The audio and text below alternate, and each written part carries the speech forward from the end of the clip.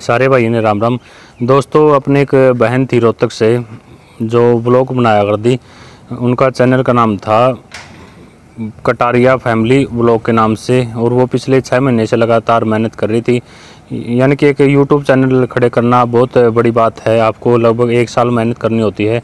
जिसकी कंडीशन है, एक हज़ार सब्सक्राइबर चाहिए कंडीशन है मोनेटाइज करने के लिए चैनल एक हज़ार सब्सक्राइबर और चार हज़ार घंटे का वाच टाइम जो अभी कुछ दिन पहले बढ़ा के पाँच हज़ार वाच टाइम है जो पाँच हज़ार आवर्स का कर दिया है। यानी कि उसको बढ़ा दिया है और एक चैनल को खड़ा करने के लिए काफ़ी लगन और मेहनत से काम करना होता है लगातार। रेगुलर आपको वीडियो देनी होती है और उसी के तहत वो बहन लगातार मेहनत कर रही थी। उनका चैनल मोनटाइज हो गया था अच्छा चल रहा था। अभी पिछले एक महीने से ग्रोथ कर गया था।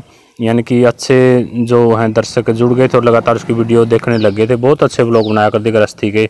अच्छी अच्छी जानकारी दिया कर दी आपको इस तरह से काम करना होता है, इस तरह से कहीं बाहर भी तर घूमना या फिर और भी अच्छी अच्छी जानकारी तो उसका चैनल हैक कर लिया गया है किसी के द्वारा। बहुत ही दुख भरी बात है और वो बहन है, बहुत दुखी है क्योंकि उन्होंने लगातार छः महीने मेहनत की थी।